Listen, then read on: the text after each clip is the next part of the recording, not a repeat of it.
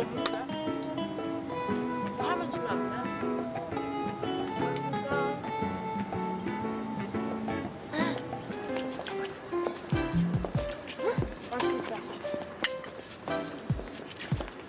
어떻게 왔어?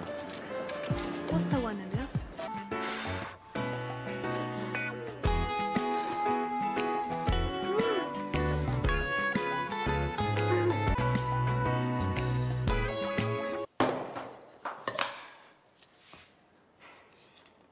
왔는데요? 늦으면 늦는다고 전화를 하든가. 으. 비벼가지고 만든 거야. 야!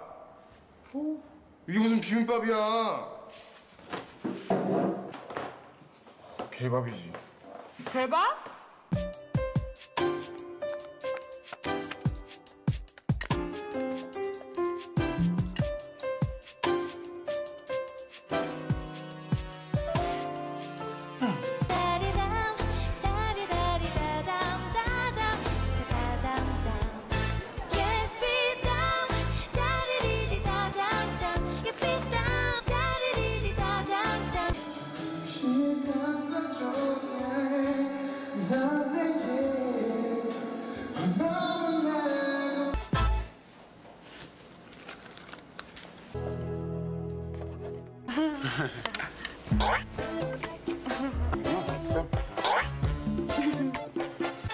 치즈김밥.